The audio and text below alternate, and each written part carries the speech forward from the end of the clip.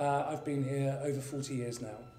And I think one of my first memories is, you know, as a young 20 year old, you think, am I in the right job? Am I in the right place? And uh, I was asked as an ASM to stand and hold a sword um, in Valkyrie for Alberto Remedios. Uh, and he sang the section about Nothung come being pulled out of the, of the tree. And I remember holding this sword and him grabbing it and feeling him singing and the sound coming through my body through this sword.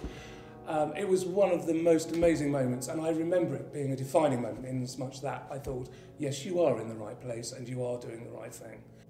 I suppose coming through uh, into the sort of later stages, the, the, the um, Peter Grimes, the last Peter Grimes that we did with Stuart Skelton, uh, which is very challenging for every single department. I mean, you know, the one thing that I've noticed over the 40 years that I've been here is that the one thing that has remained pretty constant is the standard of the technicians uh, that work in this building. And they are amazing and they always deliver. They really do. Um, and I suppose on Grimes, you need everybody at the top of their game. There's some of the hardest scene changes ever in uh, in that show, in that production.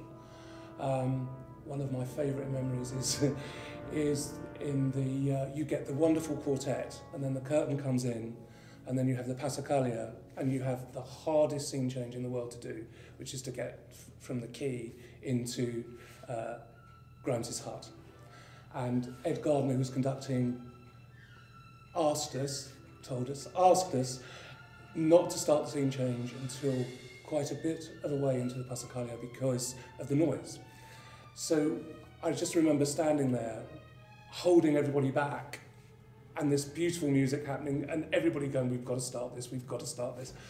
Um, and eventually, of course, uh, we started and, and we got to do it. But Stuart Skelton used to stand next to me just before this huge scene that he was about to go, with his arms folding, going, Phil, you're not going to do it, mate. You're not going to do it this time. Of course, every time we did. But he used to wind me up, which I still cherish to this day. It's a, yeah, I love him for that. Uh, other great moments, I mean, I think the first time that I heard the, the music going from the forest into the temple in, in um, Parsifal.